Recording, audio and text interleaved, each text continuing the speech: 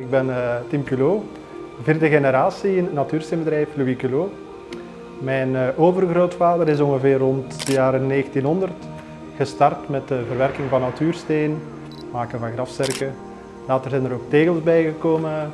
Midden jaren 90 mijn vader de eerste keukenwerkbladen begonnen te maken. Uh, daardoor zijn wij nog meer gegroeid en we zijn we dan rond 2006 verhuisd naar dit pand in Puurs. Voor ons is de materiaalkeuze ook heel belangrijk. Uh, we werken graag met zeer goede producten. Vandaar dat we ook natuurlijk heel graag met Cosentino werken.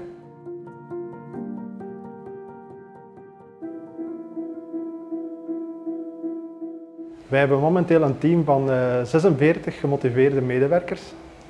Wij zijn uniek omdat wij enkel en alleen keukenwerkbladen doen.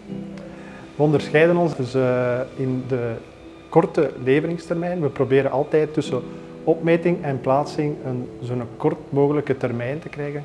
Innovatie is voor mij vooral vernieuwing, uh, investeren, investeren in nieuwe machines.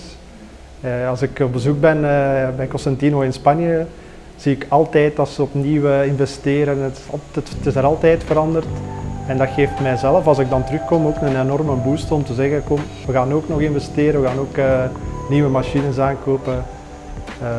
Ik heb ook al een paar keer het geluk gehad van Paco Cosentino hier persoonlijk te ontvangen.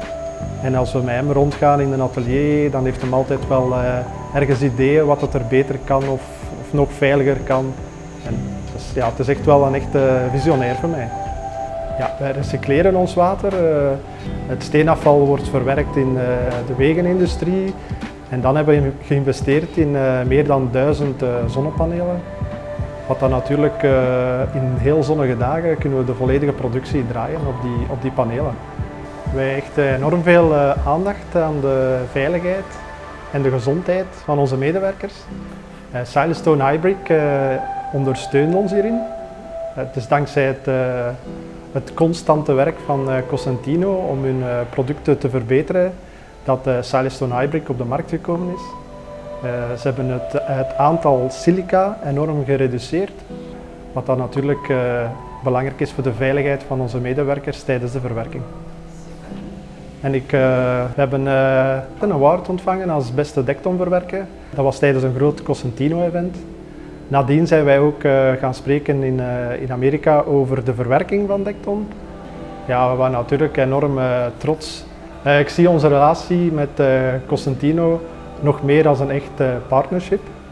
Ik weet ook altijd, uh, ze hebben altijd gevraagd van wat kunnen wij doen om uh, samen nog meer te groeien. En dat hebben ze ook altijd gedaan. Ik hoop dat ze dat niet gaan vergeten, want dat is toch wel een beetje een, een gedeelde familiewaarde. En als ze dat blijven doen, dan, dan gaan we alleen nog maar uh, samen, samen groeien.